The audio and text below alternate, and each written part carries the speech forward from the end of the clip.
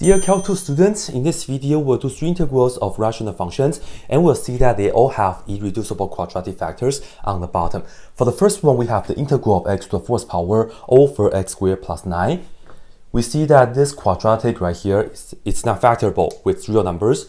So that's what we mean by irreducible quadratic.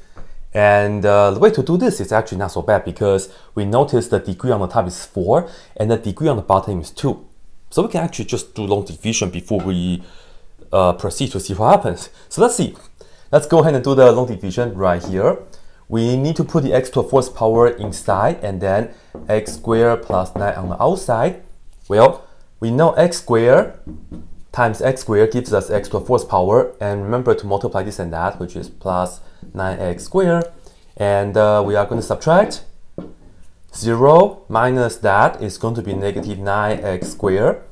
And in fact, we can continue because we just need minus 9. This times that will give us negative 9x squared, and then this times that will give us negative 81. And again, we subtract. That's 0, and then negative negative give us positive 81. With that being said, this right here, we know that we can break down the original fraction into this. Just the integral and then we will have the quotient, which is x squared minus 9. And then after that, we have the remainder 81. And just remember to put that over the original denominator. So I'm just going to say we add, because this is positive, 81 over the denominator x squared plus 9. And when we have an irreducible quadratic like this, we will be looking at the 9 as 3 squared. So let's put down 3 squared because we'll be using the inverse tangent formula in a sec, right? Okay, and technically we should be putting down uh, parentheses around this.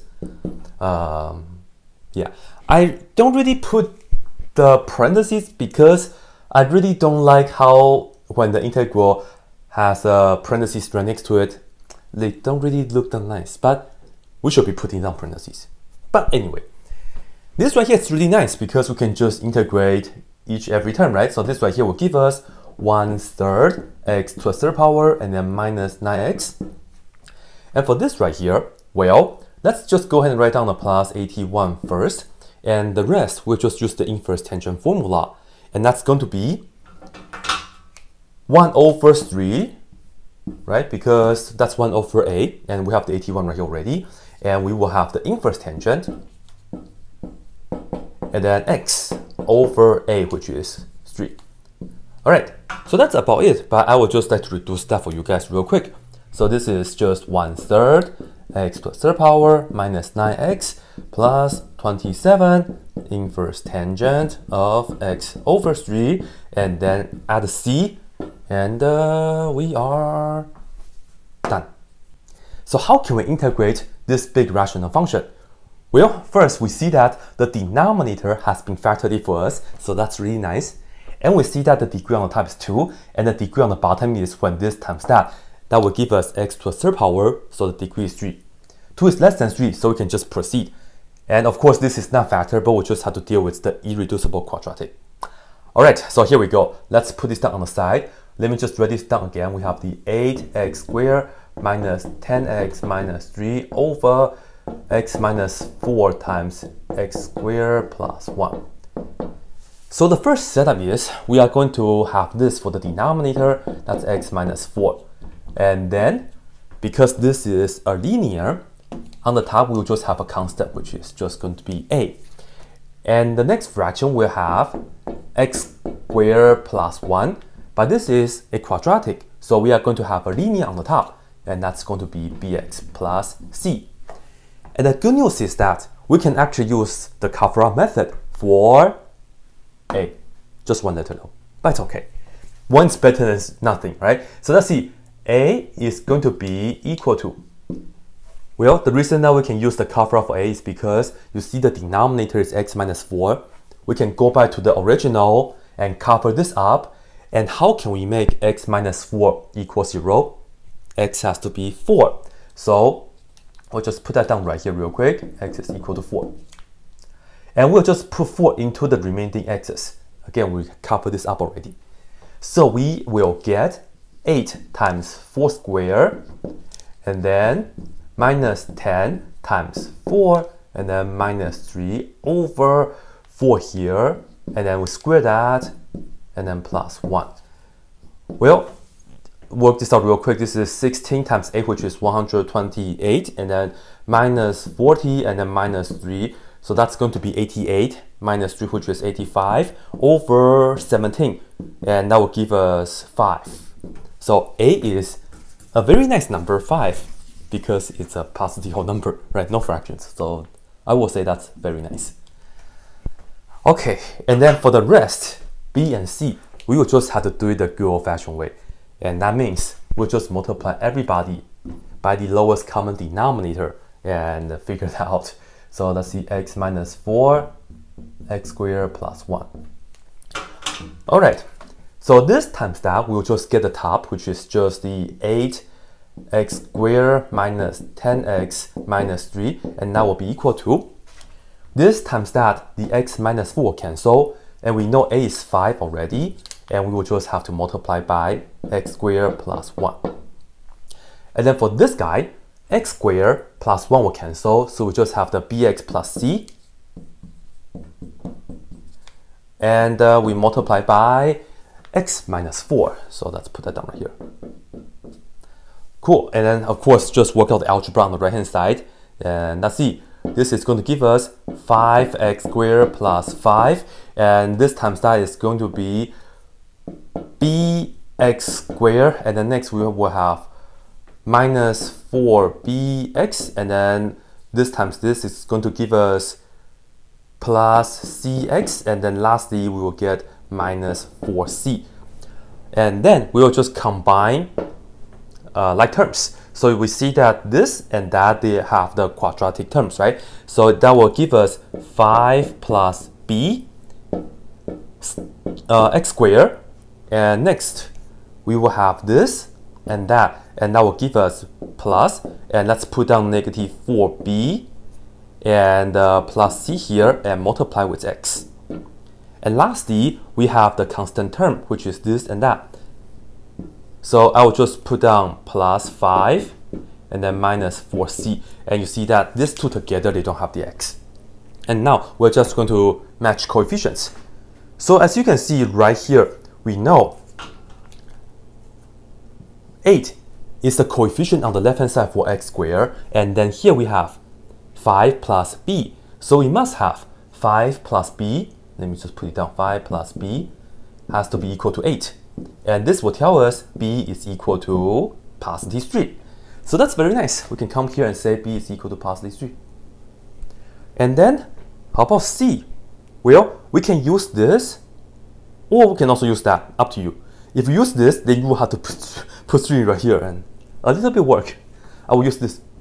Here we have negative 3 for the constant on the left hand side. Here we have this. So that means we will have 5 minus 4c equals negative 3.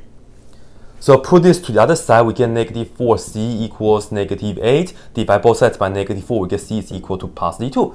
Wow! Everything turned out to be whole numbers and they are all positive, so that's very nice. So, ladies and gentlemen, this is how you do the partial fraction for this.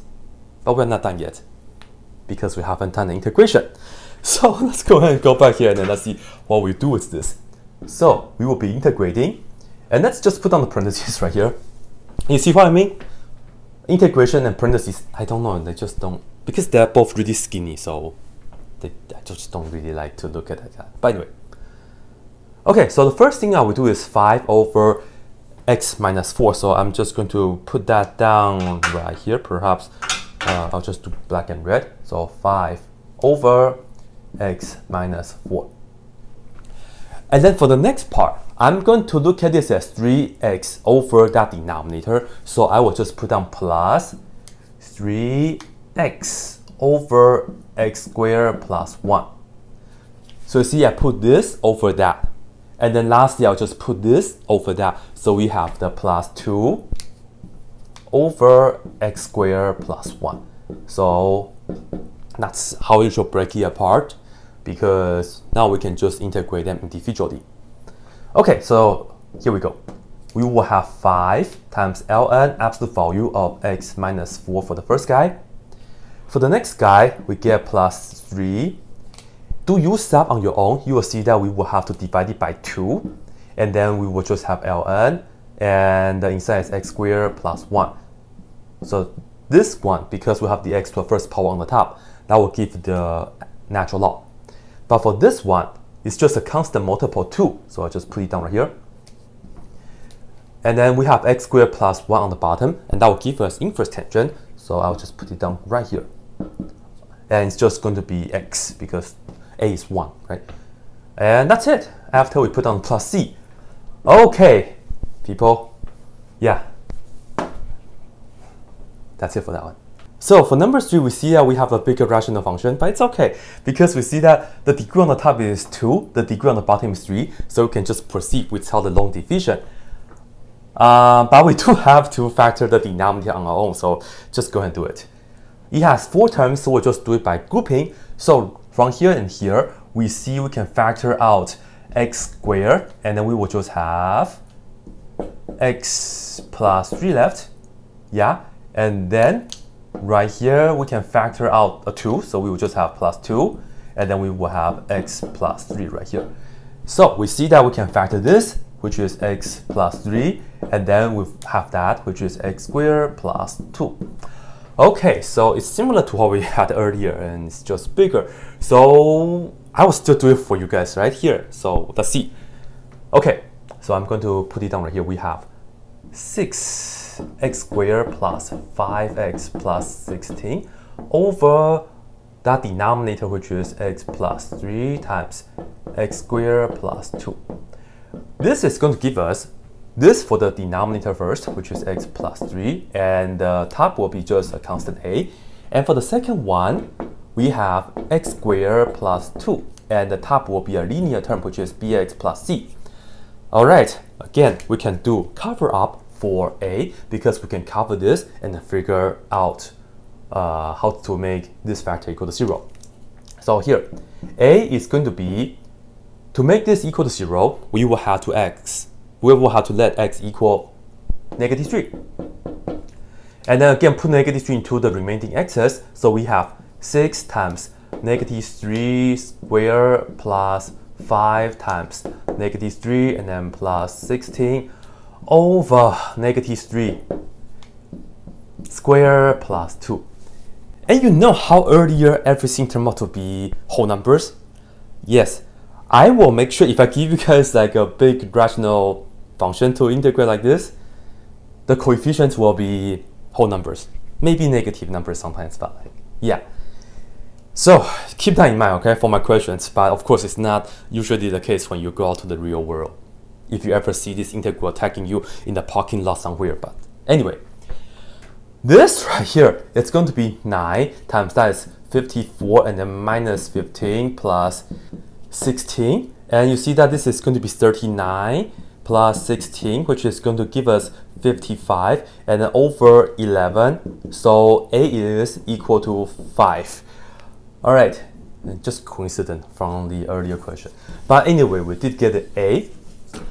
Okay, um, B and C, we will just have to do it the good old-fashioned way. So we are going to multiply everybody by that denominator, which is x plus 3, and then x squared plus 2. This times that will give us just the top left right here, which is 6x squared plus 5x plus 16.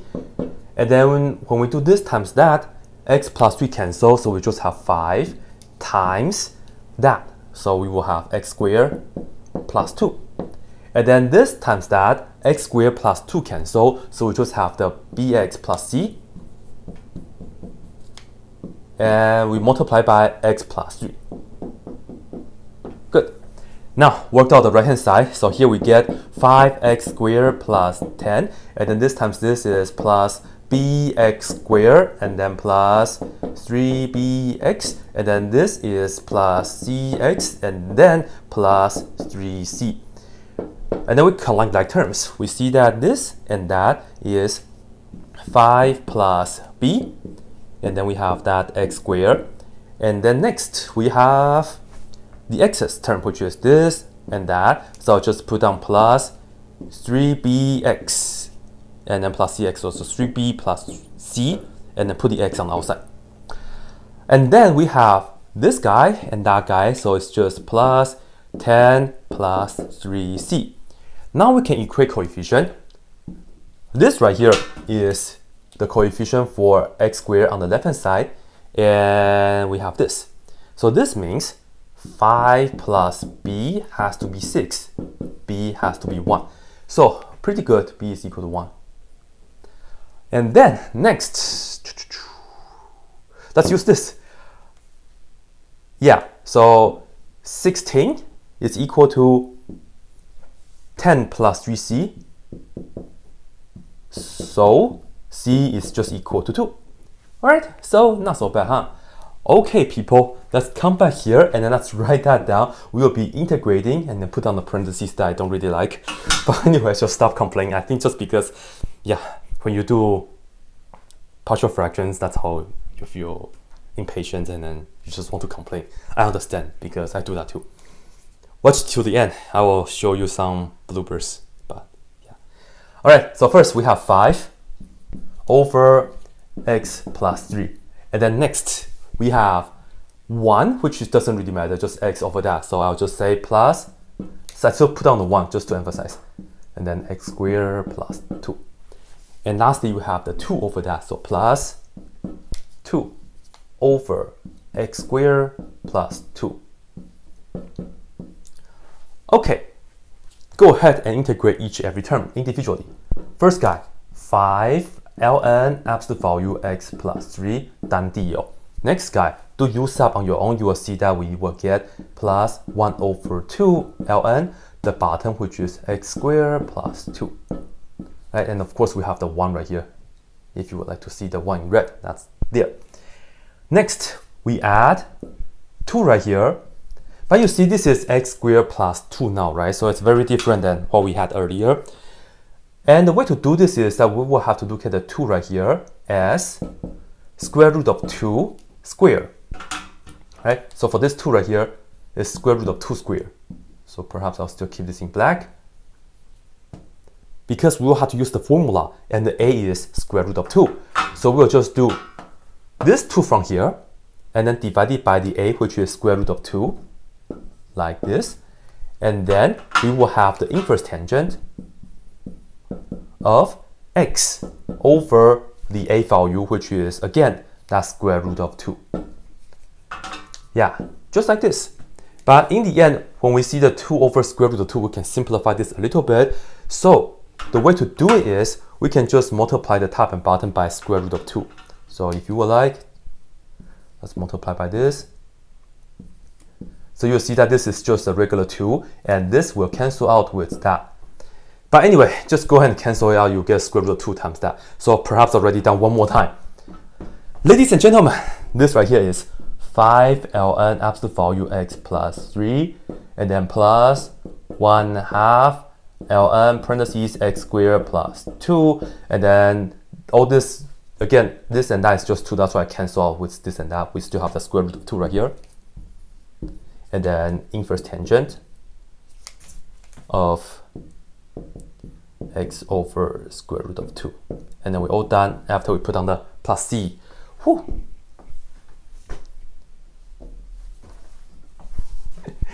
Alright, so this is right here. Right, this is right here. Watch my other videos because the other situation is when we have repeated factors, right? So check that out.